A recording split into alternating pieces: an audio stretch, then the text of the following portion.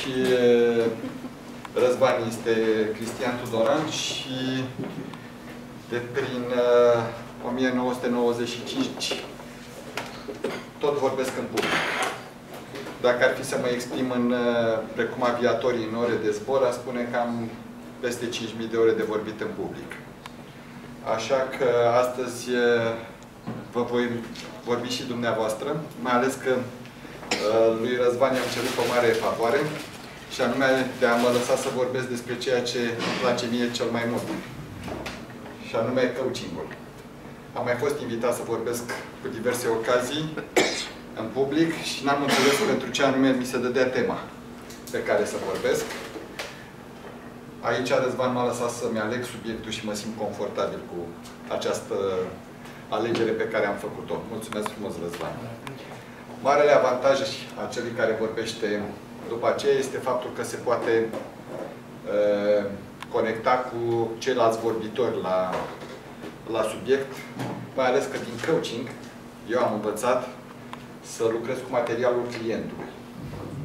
Astfel încât, acum, dacă ar fi să vorbesc puțin despre uh, emoții, v-aș provoca să uh, vă gândiți care este marele avantaj al emoțiilor atunci când încep să vorbești în public. Dacă cumva aveți și un răspuns, vă invit să răspundeți. Generatoare de pe care le poți folosi. Ok, mulțumesc frumos. Um, promovează autenticitatea. Promovează autenticitatea, minunat. Alta? Contribuie la transmiterea mesajului. Excelent. Excelent. Pentru mine, cea mai bună veste pe care o primesc atunci când simt că am emoții, este aceea că sunt viu. Și îmi place să fiu viu. Umanizează. Probabil. Vreau motivul pentru care am acceptat invitația lui Răzvan aici se leagă de două aspecte. Am un scop personal și o dorință personală. Scopul se referă la aceea vă transmite cu foarte mare acuratețe informațiile reale legate de această profesie care se numește coach și dorința mea este ca să vă trezesc interesul și să vă virusez și pe voi cu acest microb. Care ar fi diferența între scop și dorință? În psihologie se spune că dorințele sunt pentru a fi ascultate și nu pentru a fi îndeplinite.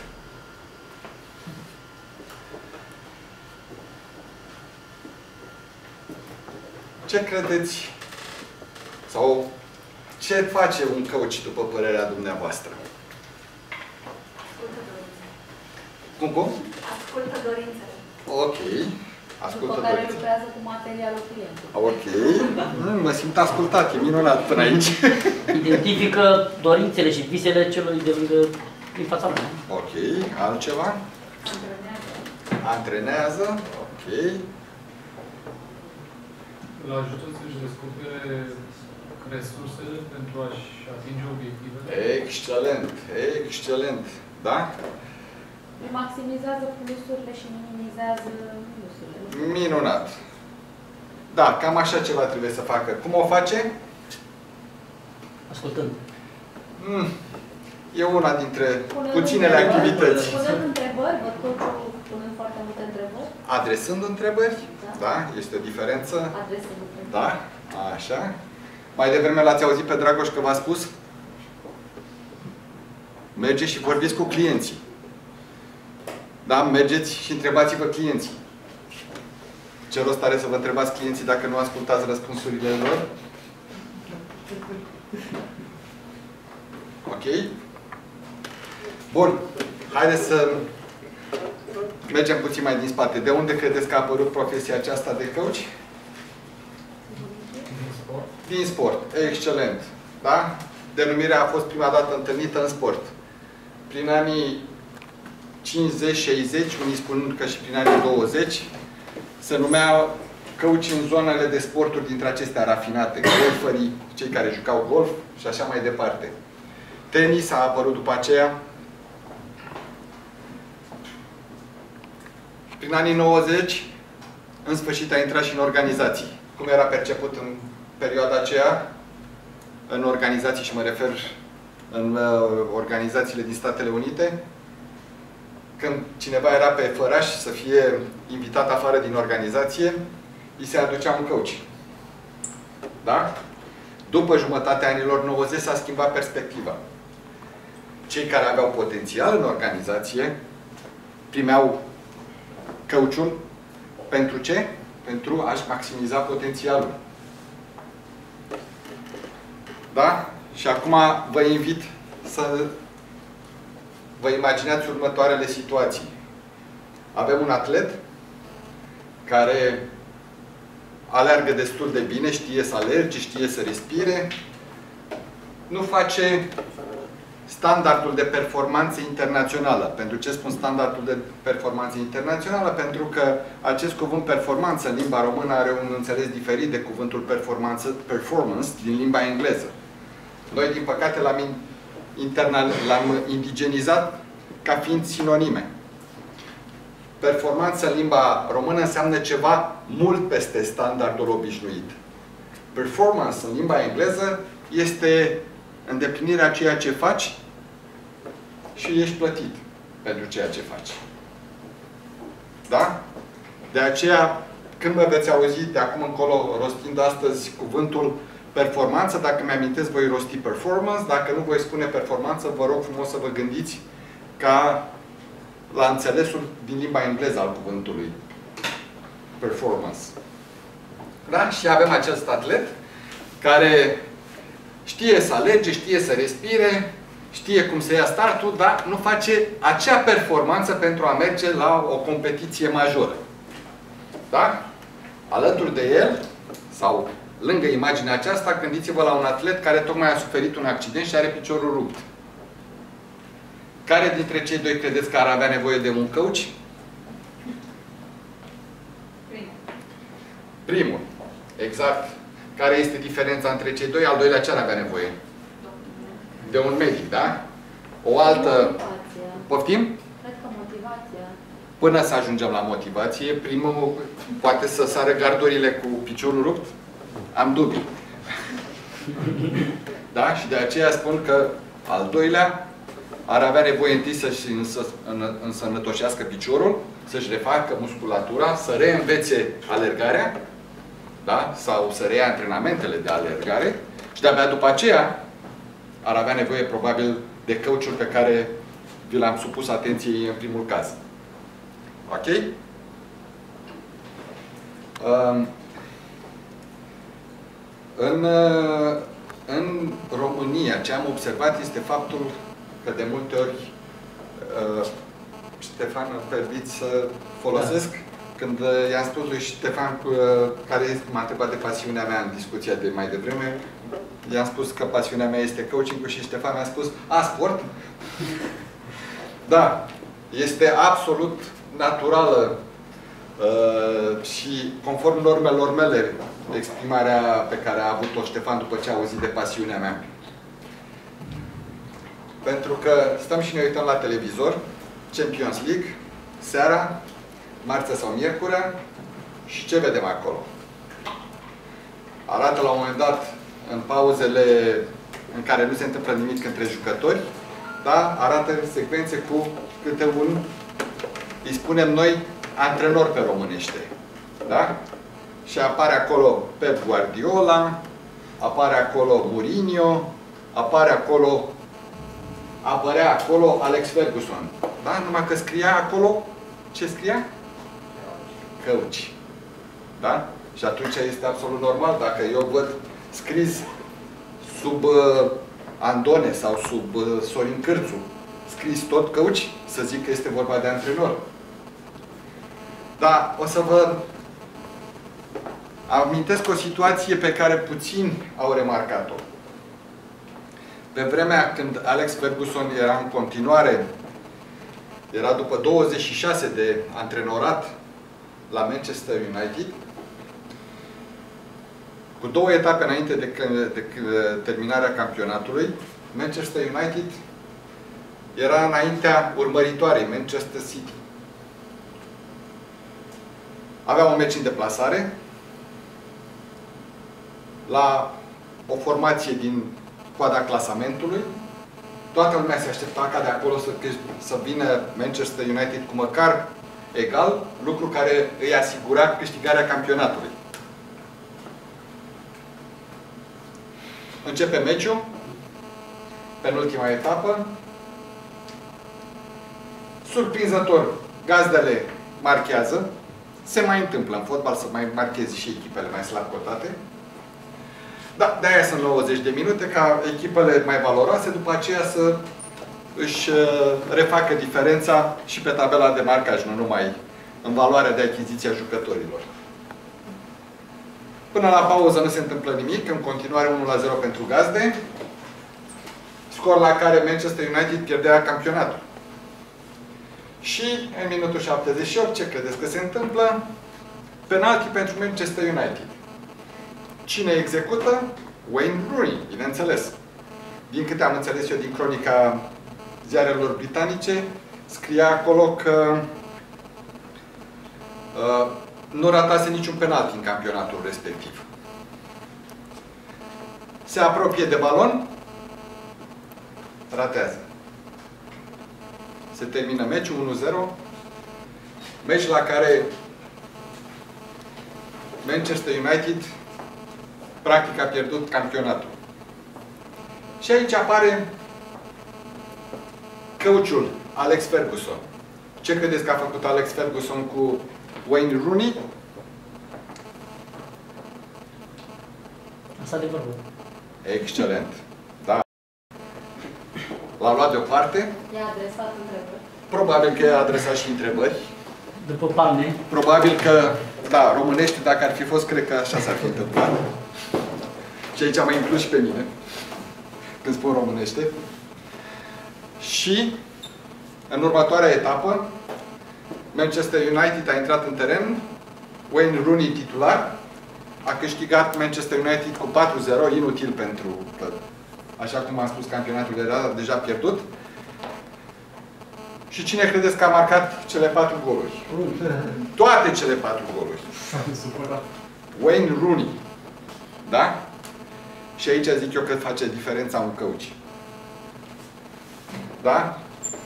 Tentația umană sau conform educației noastre de până în clipa de față ar fi fost aceea de o palmă după ceafă și eventual dat afară din echipă.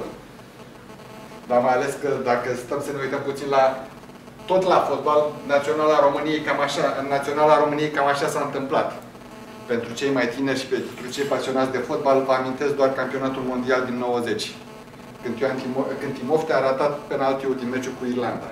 N-a mai călcat pe la națională niciodată. Da? Iată diferența. Poate n-am mai Da, categoric.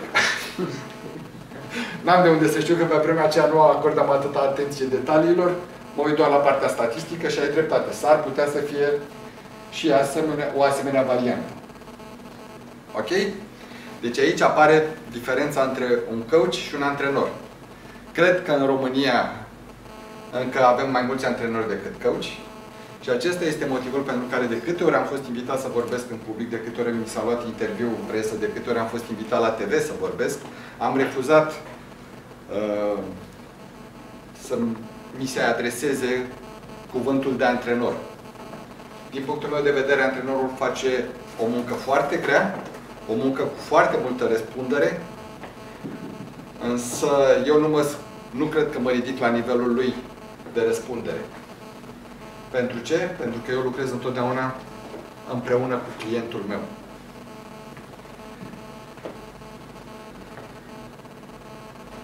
Care ar fi principiile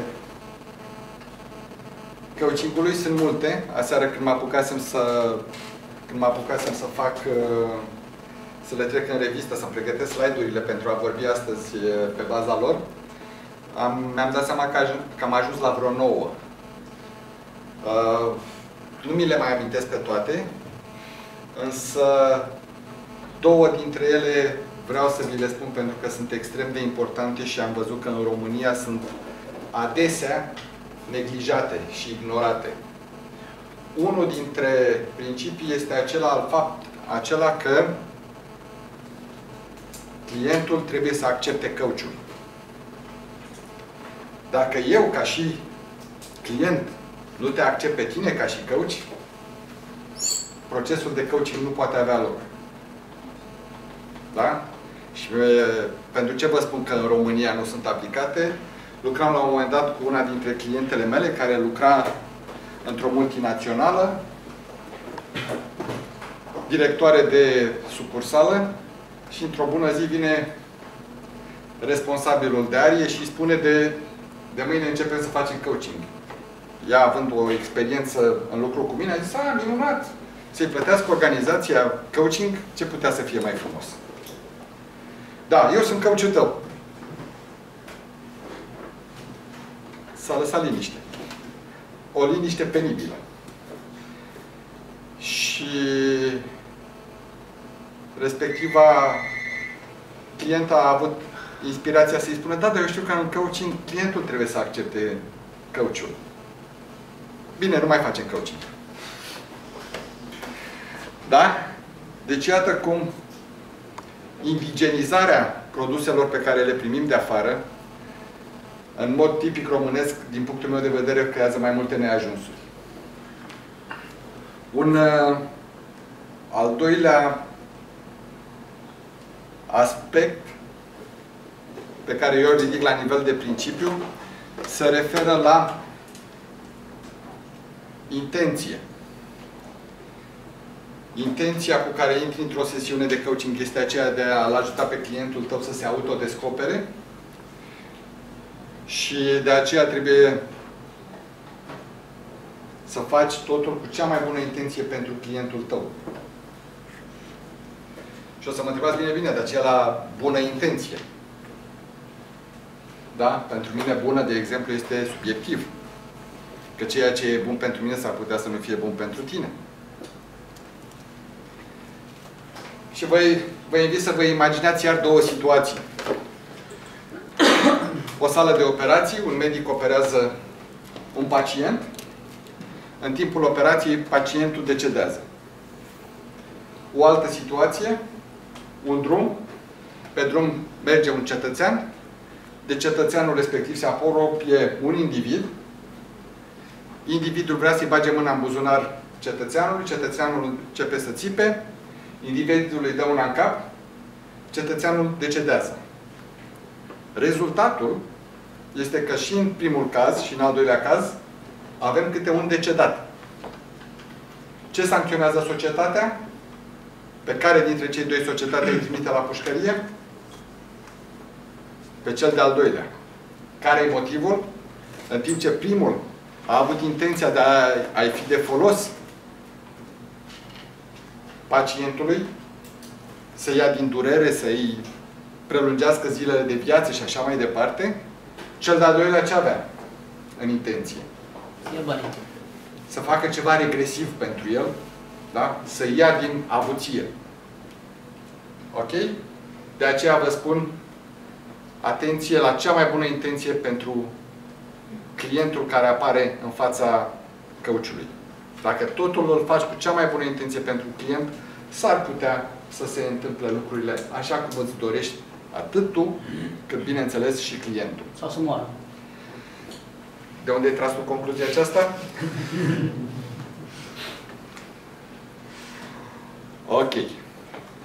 Și acum, uh, referitor la faptul că procesul de coaching este un proces conștient și trece tot timpul prin creier, la fel ca și vorbitul în public, vreau să vă întreb dacă știți care este definiția creierului.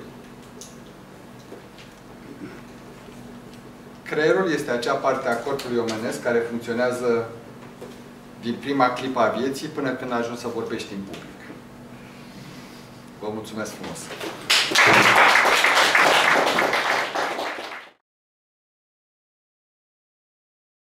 Repede la treabă. Uh, credibilizarea. Credibilizarea ta, Cristi, a fost frumoasă. Prima dată direct, 5.000 de ore de vorbit în public și pe aceea tangențial. Când sunt invitat să vorbesc la emisiuni, la radio, la TV sau să scriu articole, a, ok, deci o credibilizare bună. Plus istoricul tot din 95 și așa mai departe. Două lucruri pe care le puteam îmbunătăți. Unu, exemple din fotbal multe. Pentru oamenii pasionați de fotbal, sau poate în special pentru bărbați, băieți, sunt interesante. Pentru alții s-ar putea să nu. Am primit un feedback foarte puternic de mult referitor la un filmuleț care era tot din fotbal. Un filmuleț de un minut, motivațional, o chestie foarte faină pentru bărbați, băieți. Și toți erau, wow, super tare. Fetele erau, pierdut minut din viața mea cu prostia asta. Și mi-a explicat și mie cineva de ideea de gender bias, adică o, un sex ar putea să fie foarte atras de acel subiect, celălalt nu. Am văzut și reversul, un speech despre Coco Chanel, eleganță și așa, în care bărbații din sală, când am luat feedback, chiar erau simțeau agresați, jigniți, doamne, nu mai băgat deloc în seamă, ce mi-ai spus despre chestia asta? Aveți grijă să balansați, astfel încât uh, toată lumea să fie implicată. Fie că vorbim de bărbați și femei, fie că vorbim de oameni care au cunoștințe mai în profunzime și alții cunoștințe mai superficiale, să balansați speech-ul vostru astfel încât toate categoriile să fie acoperite. Altfel s-ar putea să rămână câțiva oameni care nu sunt, să spunem, satisfăcuți de ceea ce ați spus. Și o ultimă idee. Ai vorbit despre românizarea uh, coachingului și un exemplu negativ. Nu rămâneți doar în zona negativă. Nu rămâneți doar în zona negativă. Mergeți și la un exemplu de succes. De aceea eu lucrez în echipă cu mai mulți coach astfel încât clientul să-și poată alege coachul care simte că se înțelege cel mai bine. Să nu rămânem doar la nivelul de așa, nu, nu se poate. Bine, și care-i da? Adică am înțeles că asta e nu, dar dau unde este. Asta este a doua sugestie. Aveți grijă întotdeauna să veniți și cu exemple despre cum să pot face nimic. Ok, mulțumesc mult, Cristi, bravo!